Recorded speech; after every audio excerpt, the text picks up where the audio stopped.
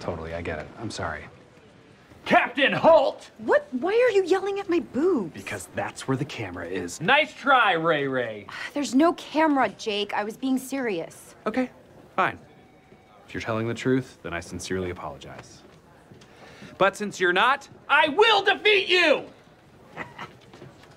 Sir, Jake really pissed me off, and I want to help you take him down. Well, that's an intriguing proposition.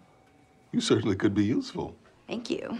To Jake! I gotcha, Peralta. You're not fooling anyone.